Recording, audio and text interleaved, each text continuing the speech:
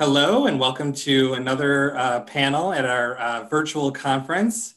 Uh, this panel will be focusing on the legislative accomplishments in the last two years uh, for the LGBT community in New York. And I'm thrilled that we have our four openly LGBTQ state legislators uh, in New York with us. Um, I'm going to introduce people by the year they were first elected. So I'm going to start with Assembly Member Deborah Glick. She became the first openly gay person elected to the state legislature in 1990. She represents lower Manhattan, neighborhoods like Greenwich Village and Battery Park City, and she is chair of the Higher Education Committee in the Assembly. Assembly member Danny O'Donnell became the first openly gay man elected to the New York State Assembly in 2002. He represents neighborhoods of the neighborhoods of Manhattan Valley, Morningside Heights, and portions of the Upper West Side and West Harlem. And he is the chair of the Committee on Tourism, Parks, Arts, and Sports Development. Assemblymember Harry Bronson became the first openly gay member of the state legislature elected upstate when he first won in 2010. He represents parts of Rochester and nearby towns in Monroe County, and he's the chair of the Committee on Aging. And our, our last legislator is State Senator Brad Hoylman. He is currently the only member of the LGBTQ community in the state Senate. He was first elected in 2012, and he represents much of lower and midtown, midtown Manhattan and is chair of the Judiciary Committee. And finally, our wonderful moderator, uh, Dan Clark, is the host and producer of New York Now since uh, January of this year uh, New York Now is a weekly statewide public affairs show on PBS stations. Um, I believe he's the first openly gay host of New York Now. And um, he previously reported for PolitiFact, the Buffalo News, Capital Tonight, and the New York Law Journal. So I'm going to turn it over to Dan. Thank you. And thank you so much to the state court system for doing this. I think that this is awesome. And it's something that we don't really talk about here in the state press corps often enough. So I'm really excited to do this. As I'm looking at all of you, it's so uh, interesting to me that there are only four openly LGBTQ people in the legislature out of 213 people, and we can talk about that a little bit. But let's uh, start a little more broadly, I guess. Uh, so we passed marriage equality in 2011. A lot has happened since then. It's been a very busy past two years, I think. And I'd love for each of you to tell me about something that's passed in the last two years, or you know, even before that, that's meant really a lot to you, something that was really special. And uh, I guess we can start in the opposite order that we just went in. So, uh, Senator Hoylman, go ahead.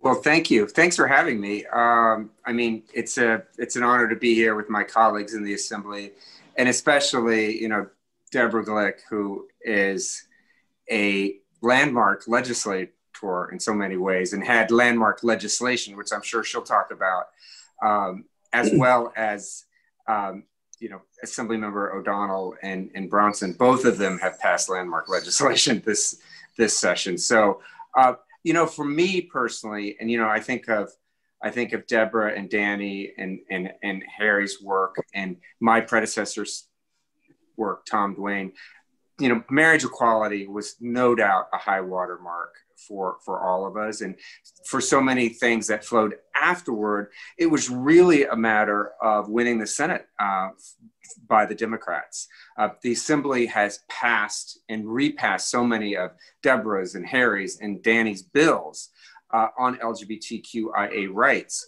but they never had a Senate with whom they could work. Uh, you know, Assemblymember O'Donnell and I couldn't even get some technical uh, um, changes to his original landmark marriage equality bill through the Senate, even though it, you know, even though they had already passed the um, um, the marriage equality bill. Basically, the Republican Senate, you know, blackballed any uh, um, LGBTQIA legislation. I was literally told, Dan, if a bill had the had the acronym LGBTQ in it, it was off the table. They would not consider it by the Republican majority. So that's, that's how fervent. That was the reaction to marriage equality that unfortunately, you know, subsisted for you know eight years.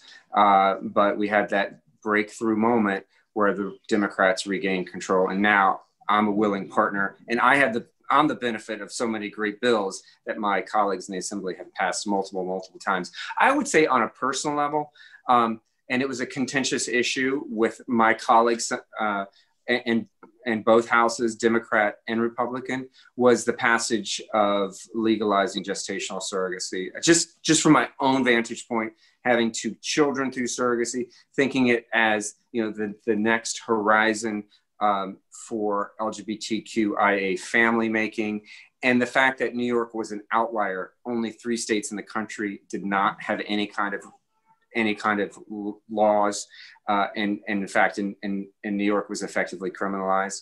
So I'm hopeful that that new legislation will really uh, impose regulations on surrogacy to make sure that it's safe to protect surrogates in donors. Really, the point. I think the New York bill, uh, and uh, you know, I look in my daughter's eyes every day and and think that and hope that you know other families uh, can be created, uh, if not through adoption or foster care, through surrogacy, depending on you know one's one's choices. Um, and then I would also uh, just just add that um, I'm very excited to be welcoming a new member of the LGBTQIA community to the Senate next year and a person of color, Jabari Brisport from Brooklyn. So that's going to be transformative because let's face it, we're all white, um, you know, cisgender um, uh, representatives here. And the additional diversity, I think, is going to go a long way in how we think about issues impacting our community. Uh, let's go to Assembly Member Bronson next. I think was the reverse order. Uh, what's a what's something that's passed in the last two years, or I guess you know whenever that's been really special to you. Well, Dan, um, thanks for having me, and and I too want to thank um, Assembly Member uh, Deborah Glick and Assembly Member Danny O'Donnell. You know, probably the most significant piece of legislation for me thus far has been marriage equality. And I was a freshman member, and I remember um, meeting Danny in his office. He called me in. He had a spreadsheet, and um, you know, he, he said, "You got to learn how to count. Here are the votes we have. Here are the votes we lost because of the Tea Party wave in 2010." Here are some senators, and you know we, we got to get these votes. And and and Deborah, who um, right in the beginning, you know, came over to my desk on the assembly floor and said, "This bill doesn't include domestic partnership. You you can't vote for this bill." So, um, you know, their mentoring and and willingness to really help uh, uh, the new kid on the block uh, was very welcomed. And and since that time, working with them and with Brad um, has been especially important. Um, you know, I, I live by a philosophy that says uh, no matter who you are, where you come from, what you look like, who you love, or how you identify, we all have dignity. And with that, we deserve full equality and justice. And so when I look at policy decisions, I always ask two questions Will it move us closer to equity or remove barriers of uh, to, to have equity? And all the bills that we passed this year that relate to our LGBTQ community um, you know, did one of those two things, whether it was um, ensuring parental rights, allowing through surrogacy our um, uh, members to have uh, develop their families as they wish, benefits for veterans, um, making sure that in the um, children and family services arena and in the aging arena that we have uh, professionals in those disciplines in those programs that have some cultural competency training. Um, one of the bills that um, I got passed this year. Um, all of them are about equity and justice. And, um, you know, and, and, you know, Brad shared the story of what he was told in the Senate, and he may recall that he and I passed a bill regarding the civil rights law and, and name change and we had to um, actually it, it, may have been uh, senator savino that that ultimately passed it because um, uh, we asked her to carry it, and she, um, you know, she couldn't emphasize the LGBTQ component of it. She had to emphasize the domestic violence um, component of it. And so now this year we have a, a bill that um, uh, has been introduced, not passed yet, um, but that is hopefully going to take us even further than what we were able to do a few years ago. So I, am just honored to be with this group of, of colleagues um, honored to do the work on behalf of our community. And, um, and I'm, I'm, glad we're going to have another member in the Senate. Um, we need more members from upstate New York, too. So uh, looking forward to our conversation.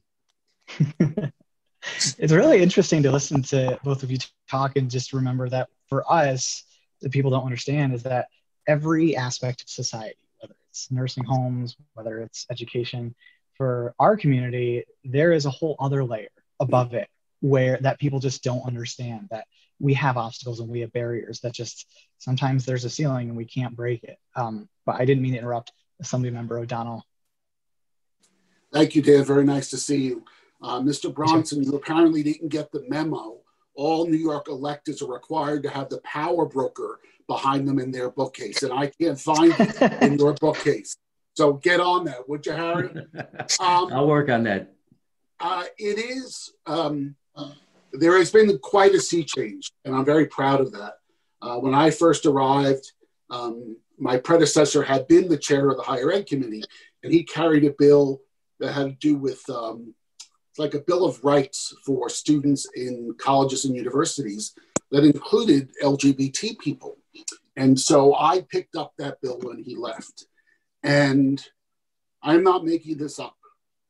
The Pride Agenda came to see me to tell me that the Senate sponsor refused to pass the bill if my name was on it. And would I be willing to give the bill up to another senator, another assembly member to get it passed? 2003, folks, that happened to me. Okay. This year, I'm very proud because uh, any bill that involved our community, well, you had a regular wave of Republican no's. It made no difference what it did or whether it was needed. Um, and this year, uh, you know, when I passed marriage, I knew there'd be a backlash. I mean, passing marriage took me five years. It's five years of my life I won't get back, but now I have a wedding ring, so good for me. Uh, it took five years to, to repeal 50A, the Civil Rights Law. So again, sometimes things take a long time, but when the backlash came, it, it never occurred to me that the backlash would be directed at, at our trans brothers and sisters and around bathroom use.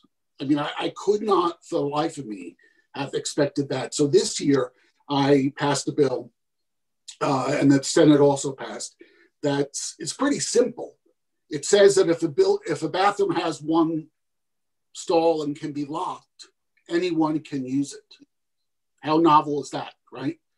Um, and it was the first time ever a bill that acknowledges who we are. It passed without one no vote, not one. And that's the change. That's the change. And uh, it takes a lot of work and I, you know, Deborah's little, but I stand on her shoulders because she did it for a decade before I got there. God bless her, all by herself. Um, but it can be very hard, and uh, we absolutely need uh, more members of the community, more diverse, uh, more diverse members of our community to serve in the legislature. And Harry, I'd be happy to help you elect one from upstate. If you could just tell me where upstate starts, I'd be happy to get get right on that. Uh, last but certainly not least, Assembly Member Glick. Um, when you've had the opportunity to listen to your wonderful colleagues, lots of uh, uh, thoughts come to mind and uh, memories of uh, when I first arrived, which shockingly was 30 years ago. Uh, and the legislature itself was enormously different um, not nearly as many people of color, uh, not nearly as many women, uh, and certainly no other uh, out queers. So it was a very strange and isolating place.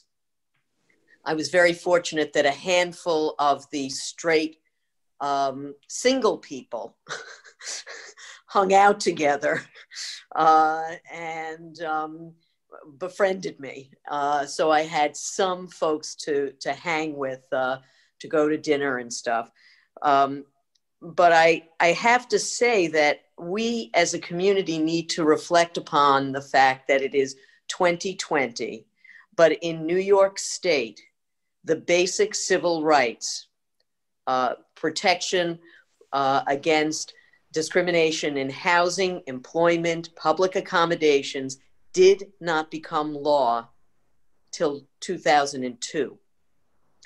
Uh, and when I would debate this, I would repeatedly say, as a sitting member of the legislature, if I were in a county that had no protection or a town that had no protection, and I entered with a partner and we held hands, I could be asked to leave a restaurant. I could be refused uh, to sign into a hotel uh, as a sitting member of the legislature till 2002. So this was not just shocking, but terribly annoying. Uh, so we have come a very, very far way in a relatively short period of time. And I think the community needs to uh, pat itself on the back for its concerted efforts uh, to move forward. Um, Brad and I shared a bill on uh, banning conversion therapy, uh, which shockingly uh, is allowed. It's a pernicious practice to try to change someone's sexual orientation. Um, and uh, Mike Pence, running for vice to be reelected as vice president, had diverted funds from AIDS work to support conversion therapy activities when he was governor of Indiana, and we should not forget that. So, anybody who is gay and thinking of voting for Trump Pence, shame on you, and um, a different kind of conversion needs to take place immediately. Uh, but we we still have a long way to go. Um, we see with the Supreme Court uh, changing, not for the better. Um, New York women are protected in their right to control their own bodies by virtue of uh, my Reproductive Health Act, which I am enormously proud of.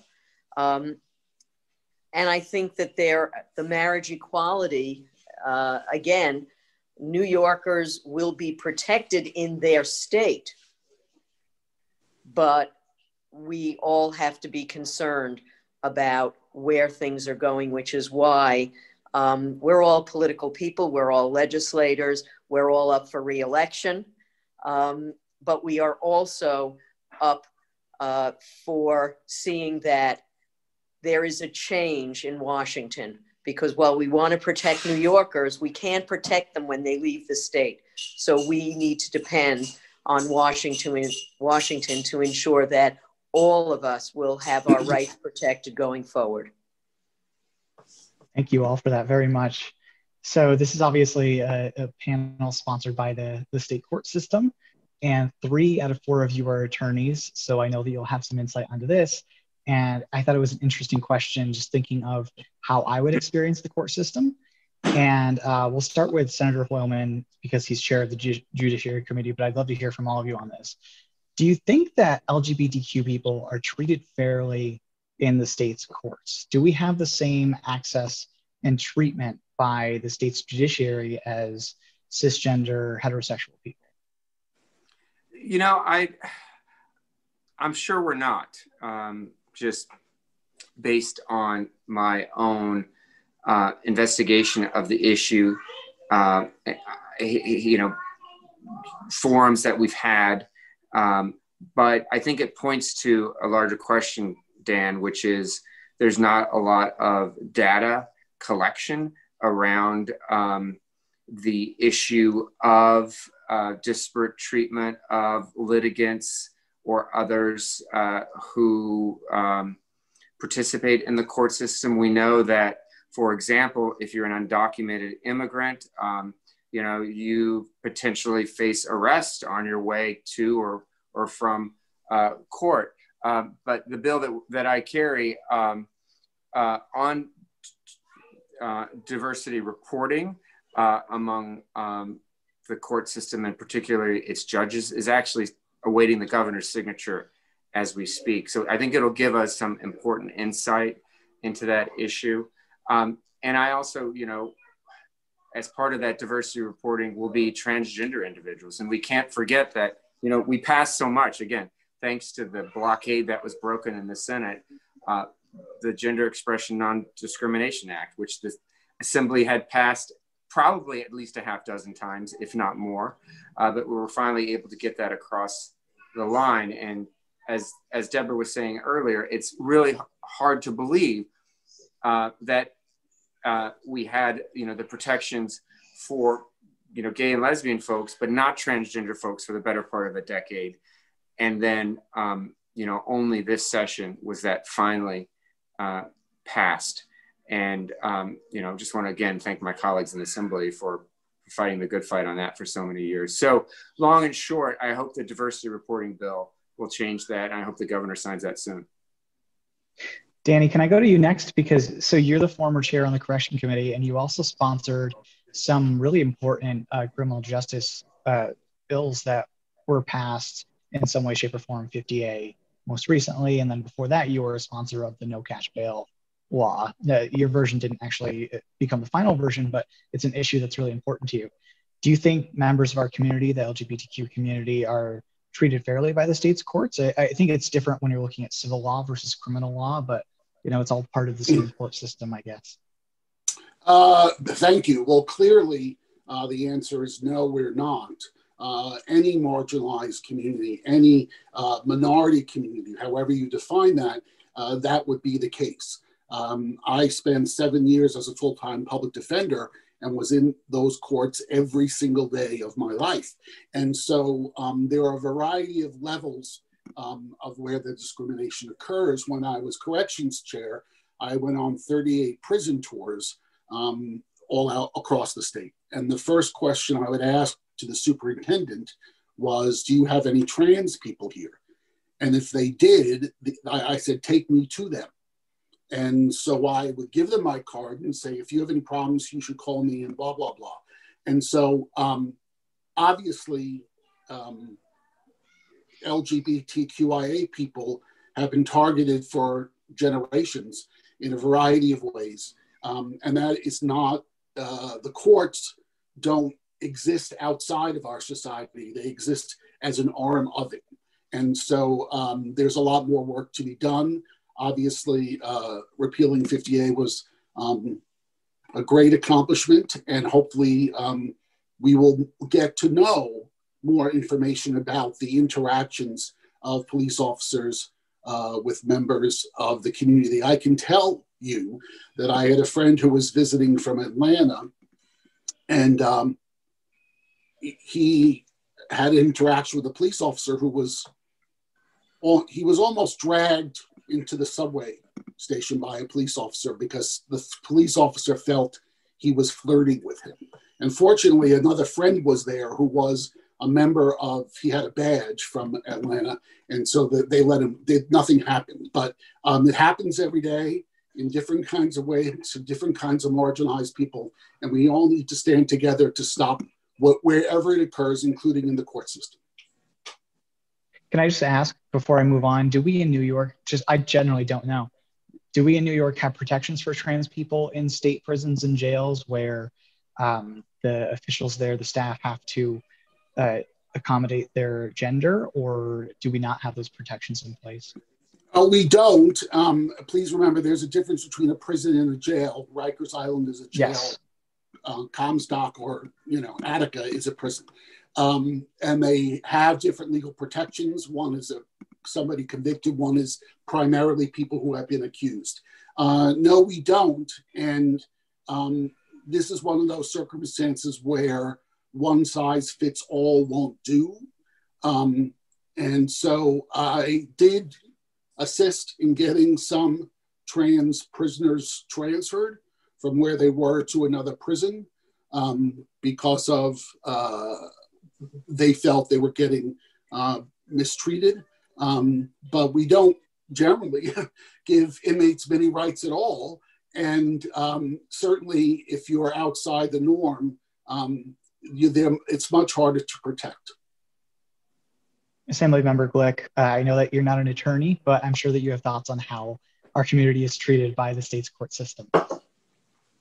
Um, yeah, well, I've played one for 30 years. So um, uh, I think that we see uh, for many years there are, uh, it starts with the interaction with the police, uh, it moves to assistant DAs, uh, and frequently, too frequently, it is uh, B movie scripts that police seem to uh, gravitate towards. Um, and there was a terrible miscarriage of justice many years ago um, that had to do with uh, a lesbian couple that returning from a holiday uh, had a push in robbery uh, as they were unloading their car.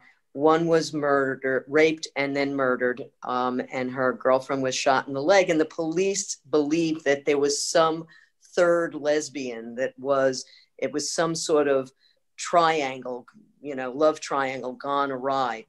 Uh, with great deal of effort um, on the part of uh, some wonderful attorneys who are no longer with us, Catherine Abate and Paula Ettelbrick, uh, we were able to, uh, this was during the Giuliani administration, we were able to bring um, to bear some uh, force at which point they had never taken a, they tried to um, blame obviously the girlfriend, but they had never allowed her to do a sketch.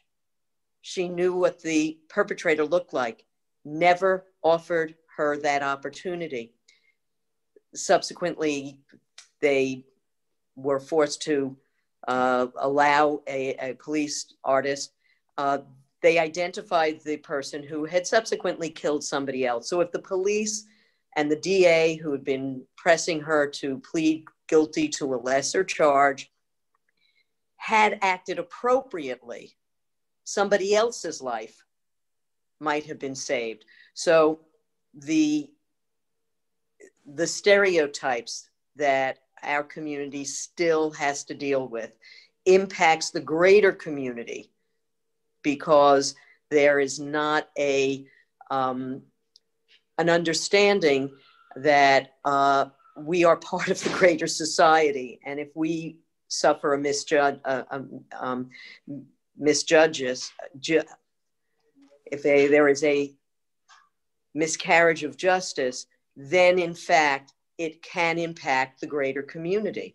And so I applaud my colleagues who work assiduously on the details of uh, criminal uh, law, uh, but we have a long way to go because stereotypes, um, racial stereotypes, uh, gender stereotypes continue to pervade uh, the criminal justice uh, world in general, from starting with the police and moving to the assistant DAs. So there's the other side of it too, the the civil side of the course as well. And I know Assembly Member Bronson, correct me if I'm wrong. I believe you practiced or currently practice. I'm not sure if you're still practicing, but you practice employment law. Is that right? I'm not sure. I'm sorry if I'm wrong. no, but tell me. Uh, you are correct. I practiced um, employment and labor law, um, many anti-discrimination matters, um, and then um, after becoming an assembly member, had my own practice, left the partnership, and had my own practice where I predominantly represented um, individuals from our community. And um, in fact, the name change bill that uh, we passed into law a few years ago actually was the result of representing a trans man who wanted to change his name um, and was fearful of um, being harmed in his own home or um, having ridicule um, in the community that he lived and, and didn't want to um, have the under the, that then law a required publication of the prior name and the new name. Um, and through far too many hours of conversations with the law clerk ultimately got them to waive um, publication and to seal um, the public record. Um, but it was it was problematic and it was unnecessary. And so that actually translated into a change of the law um, that uh, changed it so you did not have to prove as a petitioner um, that you uh, would be assaulted or you would be physically harmed if this was published. Um, and it was the mere fear was sufficient. So, um, you know, to your direct question about, um, you know, do we have the same access or the same treatment in the court system? Um, I think there's the resounding answer is no, both in the criminal court system as well as the civil court system. And, and there's a simple reason for that. Uh, because preconceived notions of sexuality, notions of what a family means, um, notion of what your role is depending on what your gender is. Um, and you and you can go on and on. Um, all of those, as, as much as I think most judges try not to bring that into the courtroom, um, it's there. Um, and it's hard, just as we're all dealing with our own um, issues related to race as as uh, uh, white um, uh, individuals, um, you know, judges have to deal with that too. And in addition, um, lawyers representing clients. I mean, I cannot tell you the number now that I, I no longer practice. I stopped two years ago, um, but now the, the number of people who call me and say, I want a lawyer from our community because they'll understand me um, and it's real. Um, it's it's perceived, and that's a problem. Um, but oftentimes it's real, and so um, just as we've passed laws requiring cultural competency by our state agencies, um, you know, we need cultural competency competency um, by our lawyers and our judges. And so I would advocate for that and um, you know it, it's it's a learning curve. I mean, um, you know, I'm still learning about um, sexuality and and uh, identity and what those. I mean, um, young people like you, Dan, you know, you you all get it much more than some of our us older folk. You really do. Um, and so, but but it's you know, we have a lot of folks in the judicial system, both criminal and civil, who just have not been exposed enough so that they fully understand it when they're either representing or a, a, person from our community is before them and they're adjudicating an issue for them. Can I just ask you before we move on? So we passed GENDA last year, the Gender Expression Non-Discrimination Act, which in theory and hopefully in practice is supposed to uh, provide a, a mechanism so that people don't discriminate people based on their sexual orientation or gender identity is that enough? I, I mean, I think about going out every day, and if I did not have a job, and um, I was applying for jobs, and we just had National Coming Out Day in October, how fearful I would still be to tell a, a prospective employer in the job interview that I was married to a man. Mm-hmm. Or you know something as simple as going to my dentist. I wouldn't even want to talk about it if they have a hook at my mouth. I don't know what's going to happen. Is that enough? Can we go further to somehow prevent discrimination in New York, do you think? It, you know, passing the law is a good step, but it's not going to get us there, right? Civil Rights Act passed decades ago, and we're still fighting right. those issues, right? We still have employers who, um, just because of the sounding of a person's name, that resume gets in the box, you know, the, the trash box, right? Um, and similar to our community, um, you know, there's lots of way. I mean, it's unlawful to ask an applicant if they're married or not under New York State human rights law, right? So they're not supposed to ask that question, but there's ways to get to that, the answer to that question. And employers do that. Um, and so it, the law is good. If it's violated, then potentially you could bring a lawsuit, which is extremely costly um, eh, from a financial standpoint, from a timing standpoint, and from an emotional standpoint. Um, so, what we also have to be doing is continuing to educate um, employers uh, about the need to having a diverse um, uh, group of employees and and oftentimes larger employers get that you know it's, it's kind of interesting it's the larger employers and the really small employers because the real small employers they typically see their employees as as an extension of the family. Um, and the large employers get it because they have human resource you know departments that deal with this and either are doing it because they know legally they got to and they don't want the cost of litigation or doing it because they've they've um, done some diversity training and equity training and that has helped them. But um, you know the law is a good first step but we always have a lot more work to do. Uh, dan if i could just jump in and point Absolutely. out that in areas around sexual harassment you know we've passed uh, really very strong uh, laws requiring training uh, on a regular basis by all, all employers of uh, you know more than a, a, minimal size and um, the reality is that you know societal change takes a very long time and we can see as uh, harry alluded to uh, that the younger generation has uh, in most instances uh, have less hangups about um, racial diversity or uh, immigrant rights. These are still a struggle, and obviously we've you know been through a terrible four years, but there is advancement, and society has made progress, and it is reflective in more diverse workplaces and an awareness on the part of employers that they need to do this because their customers demand it. Uh, and more and more we see all kinds of intermarriage that makes that uh, more accepted uh, and filters through society in a way. And it was, um, you know, Martin Luther King who said, you know, you can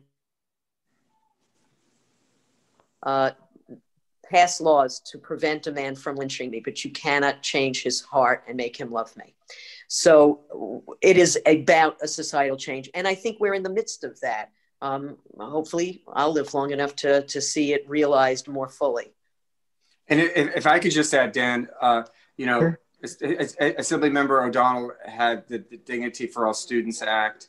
Uh, there's legislation now which I carry to have a to have LGBTQIA history curricula, uh, and you know, so it starts at a very young age, and we need to do a better job. I think the New York State Human Rights Commission needs to do a better job in information sharing. Um, one of the unfortunate cuts uh, in this year's budget uh, was to LGBTQIA groups that actually wanted to institute uh, a public awareness campaign around gender. So we're going to have to do a lot of balancing, and we're not going to see the progress unless people know their rights, unless New Yorkers know their rights. And that unfortunately has been on the budget uh, chopping block. That's really interesting. Um, kind of a, a, segue of what Assembly Member Glick was saying. I'm really curious because a few of you mentioned it at, at the top. Uh, I'm curious because so we have you four in the legislature out of 213, as I said before. We now have an openly gay man on the State Court of Appeals, which is the state's highest court. But we still see in the state's court system among judges, there are not very many LGBTQ judges, I think it's fair to say. And obviously, we don't have a lot in the legislature. And just among elected officials statewide, we don't see a lot. And I'm curious, just starting with Assemblymember Glick, um, do you think that that's impeded? How do you think that's impeded progress for priorities for our community? And I'm curious about what has happened over the years. When you first started, how those issues were perceived by your colleagues because I have to imagine it was much harder to um, even explain back then than it is now. Well, I would just say that um, a lot of the progress we made uh, at local levels were uh, focused on um, a lot of m- local activism that uh, got into the weeds of uh, how judges get selected in various communities, uh, how um, they get nominated, and there there was a very concerted push, at least in parts of New York City, to ensure that any advancement of judges included more balance um, and uh, as you point out, you know, Paul started, Paul um, Feinman started in civil court and he won a race in um, our community, the community Brad and I represent. And then there was a Supreme Court opening and, you know, people gathered around that. I think that there may be less of a focus uh, in the community on that, and it's shifted to um, legislative races and congressional races. And um, when I started, there were a, literally a handful of us across the country uh, in state legislatures. Uh, and the advancement in across the country is actually quite dramatic. Uh, so I think the focus shifted somewhat. Uh, at least that's my perception in New York, uh, that people have gotten more on the uh, legislative and congressional focus. Uh, uh, and not on the judicial focus. At least that's my sense. I think you're exactly right. Um, Assembly Member O'Donnell, I'd love to hear from you on that. How people have uh, interacted with you over the years in the legislature, and if you uh, think that maybe progress has been impeded because of that. I have been told I can be a bull in a china shop. I can't dispute that, really. Uh, I have been blessed with a sense of humor, which comes in handy. Um, uh, when I fought for marriage, I flirted with my Republican colleagues. I told one he had he was the most handsome man in the place. He owed it to the gays to vote yes. And much to my surprise, there was then a fight among the Republican legislators because they all thought they were the best looking man in the House. I, I didn't expect that. Um, but when I first got there, people actually said to me in 2003, I don't know any gay people. And I would say, Do you leave your house? Do you get your hair cut? Like, I, I don't even understand how that could be, right?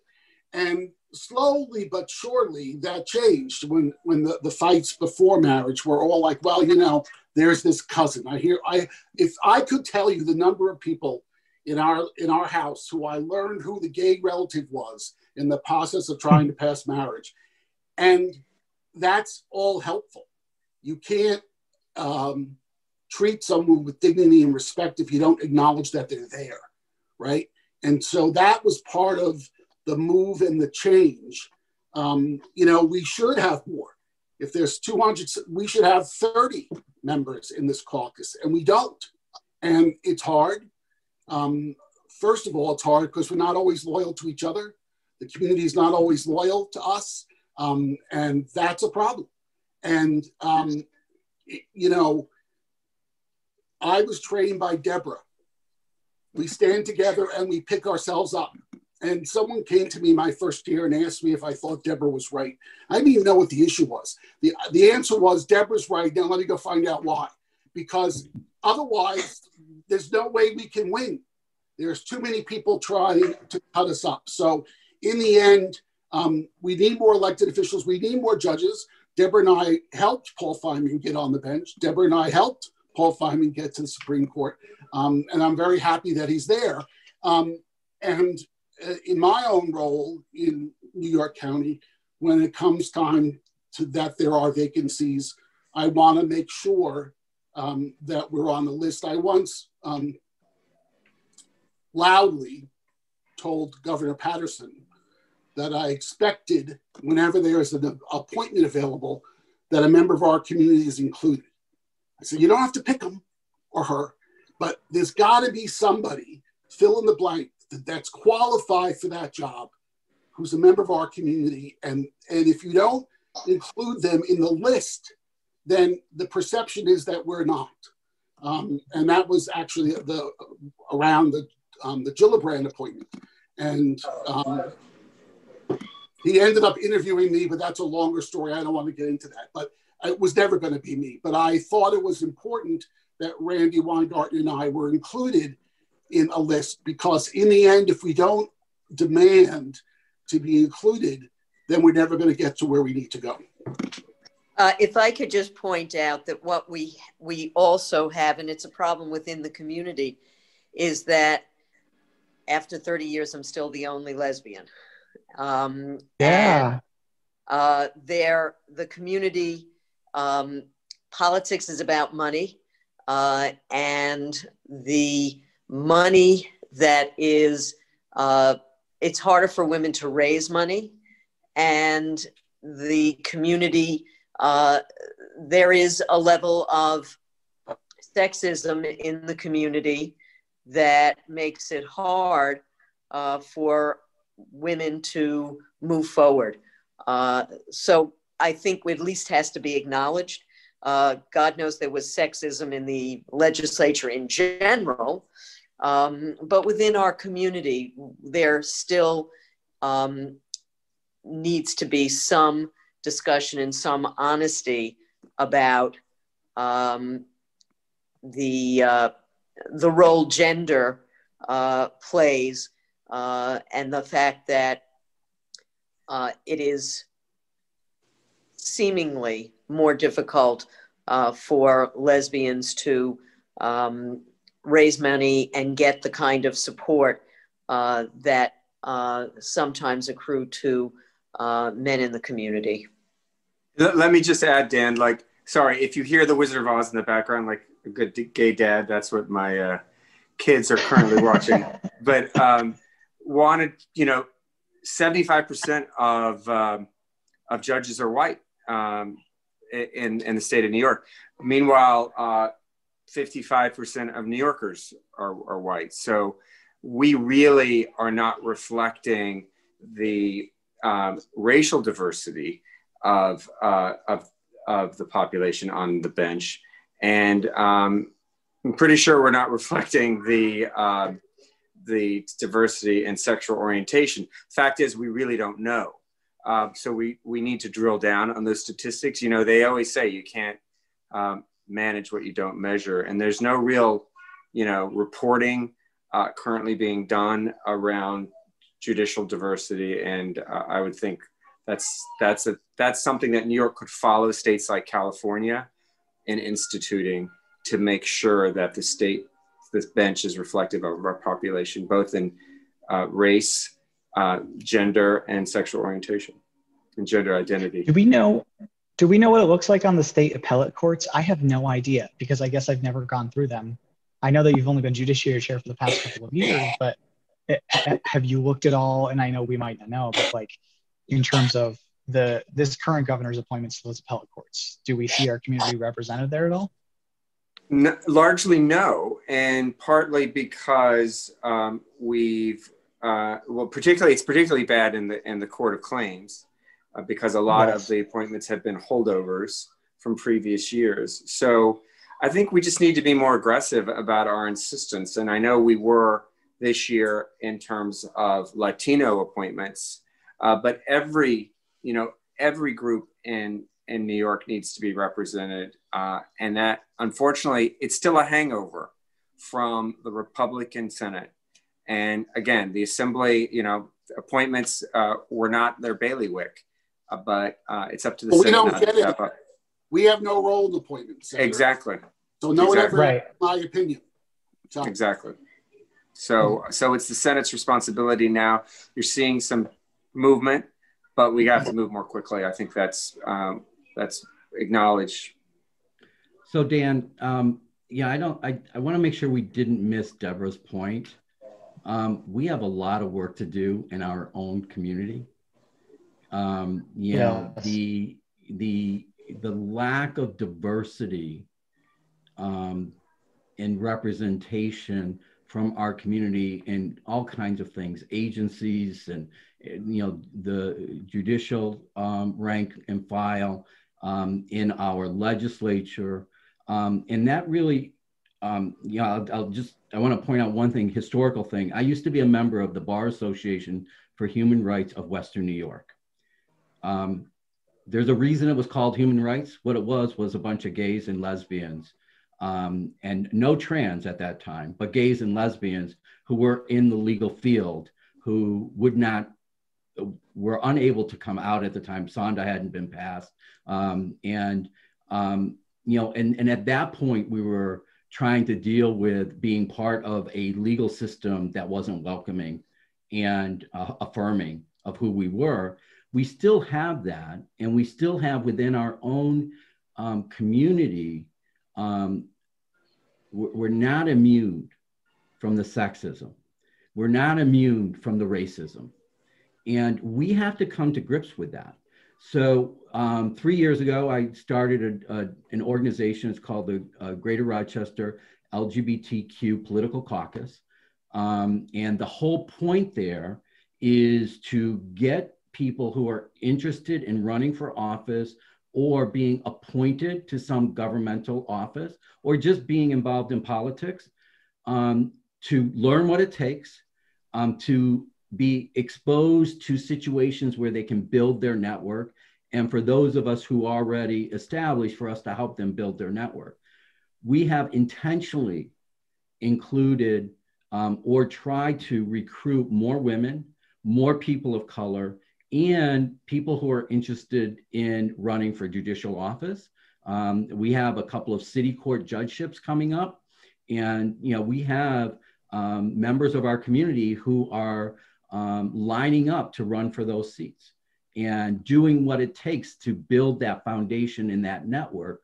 But we have to um, be cognizant of and uh, we have to take affirmative steps to include more women, and include more people of color um, from our community and, and to assist and mentor and support those individuals so that we'll have diversity um, in these offices, in these judicial seats um, that represents the true diversity of our community. Totally. I think it's all intersectional. And especially you look at our community, LGBTQ is just like this giant umbrella where it, myself as a, a, gay cisgender man, I have no idea what the experiences are of a trans person of color because we're just living totally different lives with totally different challenges. And that kind of brings me up on my last question because we're coming up in the hour is a lot of people look at our community and they see that we got marriage through the Supreme Court and they say, well, what else do you need? what, what else is there for you guys? Like what unique challenges can we address either legislatively or administratively. Um, so I guess that's the last question I'll pose to each of you is what's next? What would you like to see happen? And I know we touched on a little bit, but I'd love to give you more of an opportunity to talk about it. And uh, let's start with Assemblyman O'Donnell. Well, uh, the Supreme Court didn't give us marriage. We got marriage on our own. Right, that's true. And, and uh, unfortunately, for where we are, Obergefell may be retur- or reversed by a new Supreme Court, which won't affect New Yorkers because we did it legislatively. So I think that we have to be very cognizant of the fact that some of the rights and benefits we have in New York be back to our brothers and sisters in other states. Um, I think New York, we need to fight to ensure um, that the diversity that Deborah talked about is actually real, right? And so in the end, um, it just can't always be rich white men with trust funds who speak for us. Now, that's not my experience, obviously, nor Deborah's, but the reality is we need to broaden who and what that is. And what I will say to you, Harry, is that if you get a list of judges that you're helping in Rochester, count me in. I'm in. Because we have to stick together and ensure that, that, that diversity continues to move forward. If we do it statistically, we should have a 30 member caucus in Albany, not five. And so, you know, sometimes that's hard. You know, I, I endorsed Melissa Sklarz, even though she was running against one of my colleagues, um, because I believed in that diversity. Um, we have to be open to hearing from people throughout the state. And again, you never answer the question where does upstate begin? So um, if someone could tell me that, I'd be very happy in trying to get more upstate members. the lasting question of where does upstate begins? I, I, I, can't even venture to answer that question because depending on whether we're talking, um, you know, construction work and prevailing wage, or we're talking about minimum wage, or, or you know, it, it, it varies every time we try to define it. One thing's for sure, yeah. it, it's not Westchester, okay? It's As that's well. not upstate. uh, we'll go with you, Assemblywoman Glick. Well, I think some of it is making real some of the things we've already done. Uh, Danny O'Donnell passed um, a, a, wonderful educational uh, bill that would be, you know, about teaching uh, students at every, in an age appropriate fashion, about bullying, dignity for all students. It's not been fully implemented. We are so far from it being implemented. Uh, some of it is about making certain that uh, there are in-service teachers. These are teachers who may have been doing the work for 20 years and it's harder to get them on, uh, on board.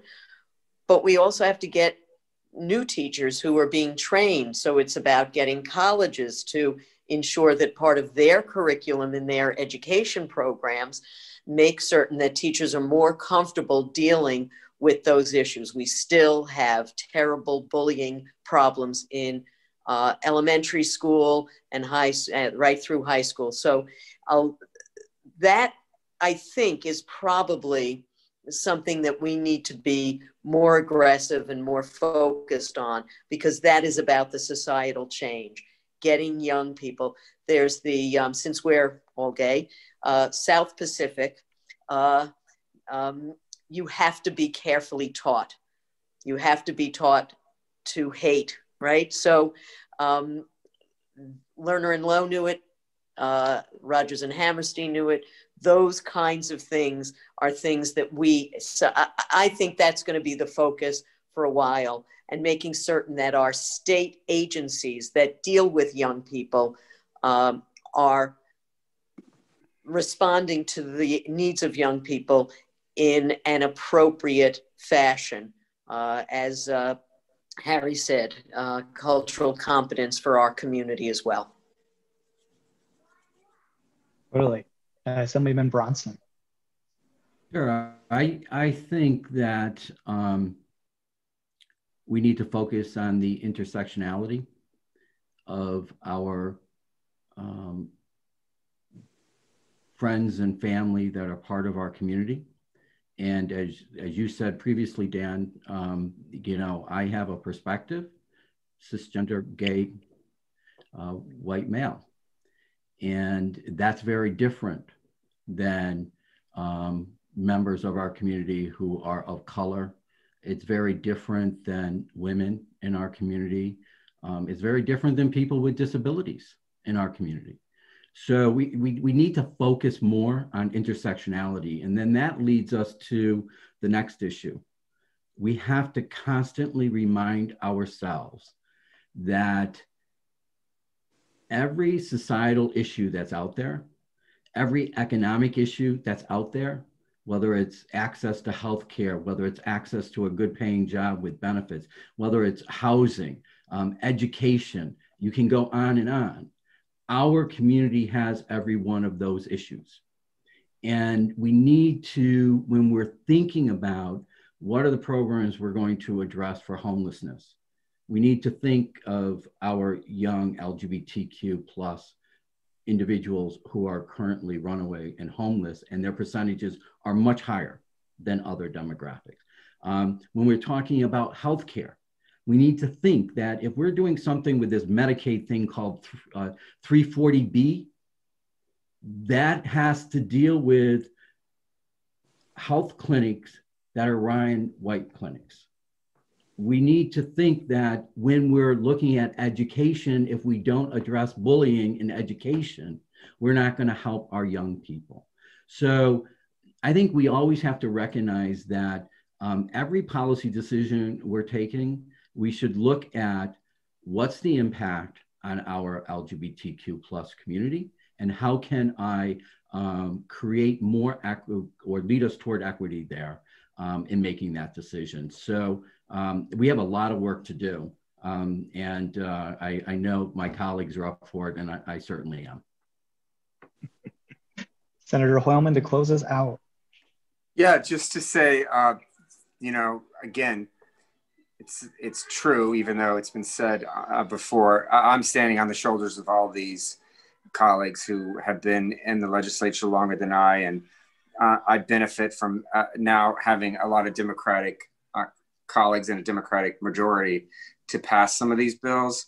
But um, certainly, the point I would strongly agree is that um, our community, um, while in some respects different, uh, is very much the same with so many others in terms of suffering uh, during COVID 19, joblessness, poverty, discrimination, um, and um, the issue of, um, uh, of you know disproportionate impact of of, of systemic racism. Um, so uh, legislation like repealing the so-called walking while trans ban, uh, ensuring that LGBTQ youth um, are have the resources to to um, to battle depression and and suicide ideation, uh, ensuring that our seniors uh, who are in nursing homes um, are also given protections like they are in other states if they're LGBTQIA,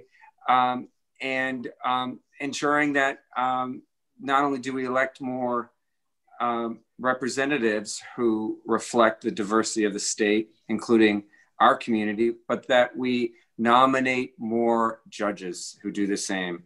And so I think that's um, something that I want to be focused on through data collection and reporting and making sure that we know um, uh, what the percentage is of LGBTQIA uh, judges. We don't have that information, so it's very hard for us um, to to have the policies to implement change.